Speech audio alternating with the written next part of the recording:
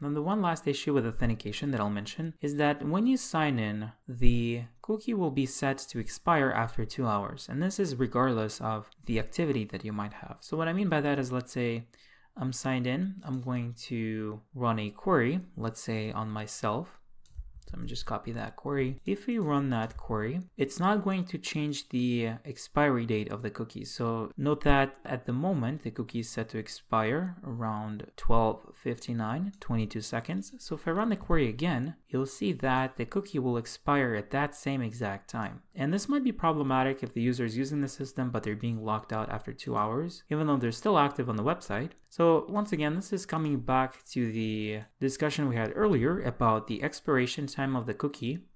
So if you look at the config file, by default it's set to two hours. And I think that time frame makes sense, but only in the use case when the session is being extended, when the user makes queries or otherwise makes mutations to the system. If the cookie is set to expire after a fixed time frame, so in this case two hours, I think it would make sense to bump that time frame to let's say a day. And once again, it really depends on the application and how it's set to function, of course. But I think what we're gonna do for this application in particular, we're gonna keep the session lifetime at two hours, but instead of making it fixed, what we're gonna do is we're gonna go back to our index file, not the directives, Let's go to source slash index. And now inside of this file, we're going to go back to our session declaration. And so what we're going to do in this file is we're going to actually set resave to true. And so what resave is going to do is it's always going to persist the session back to the store. And this will happen even if the session wasn't modified. So even if you didn't do, let's say, request that session, even if you didn't put, let's say, the user ID or any other property on that session object. So we're always going to resave the session back to the store. And in fact, this makes sense to do because by the end of every request, the session middleware will actually touch the session store. So it's going to call store.touch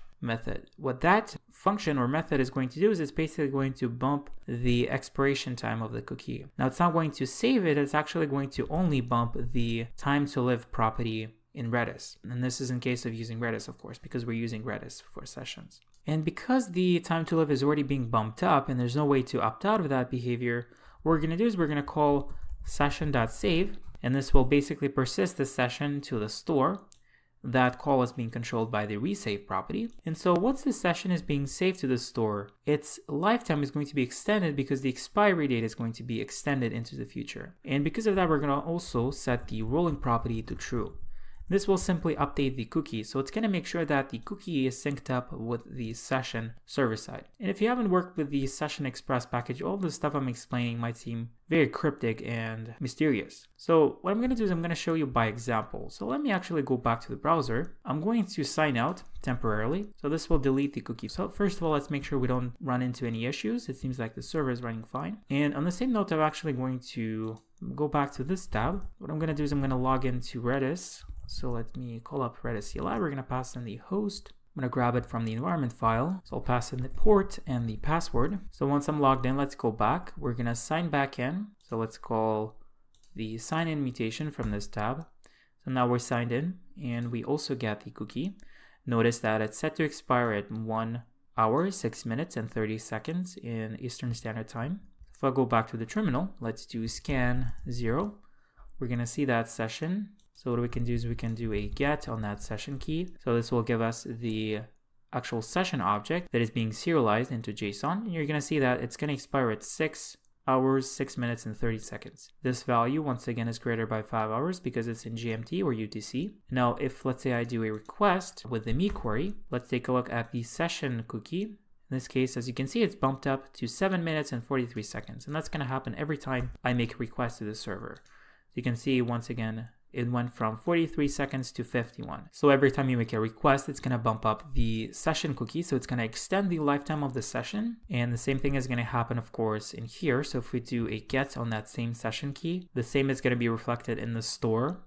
So now the session is going to expire at 6 hours, 7 minutes, 51 seconds in GMT. Of course, if I make a subsequent request, that value will be bumped up as well. So the reason that this is useful is it's going to allow you to basically extend your session indefinitely until it expires after two hours of inactivity. So if you're away from your computer for two hours, the session is going to expire and you're going to have to log back in. And on the same note, if you do the time to live command, it's going to give you the exact same thing, only in seconds. Now this one actually goes down every second. So as you can see, if I refetch that value, it's going to be decremented. Basically, it's a counter that tells when the session is going to expire. So now by the time it reaches a negative value, that means that the session is expired and the session will also be deleted from Redis. Now if that happens, if you try to request again from the server, this command will fail, and now on the browser side, when the expiration time for the cookie is being reached, the browser will delete that cookie. Of course, you could still copy that value, and in fact, you could make a curl request with a cookie header, but that value won't be accepted server side because by that time, if the session is expired, it will be deleted from the store, so you won't be able to authenticate against that same session. Anyways, I hope that clears things up. Once again, all that explanation really was about the resave property, so we're going to be resaving the sessions to the store on every request. And we're also going to be rolling the cookie. So we're going to be resetting the cookie on the response every time you ping the server. Anyways, and that's going to be easier for us because we're going to be able to make requests to the server and also extend the lifetime. So if we are active in the application, if we're making requests, or in the future, we're also going to be subscribing to data changes. If we are active with a session, it makes sense to keep the session alive until we are inactive. And after we're inactive, we're going to set the expiry of two hours. Once that time is reached, we're going to kick the user out of the session. Anyway, so I hope that makes sense. And once again, we refactored the application to use the auth and guest directives. So I hope that was useful and I hope you enjoyed it. Let me know what you think and I'm going to see you next time. Take care.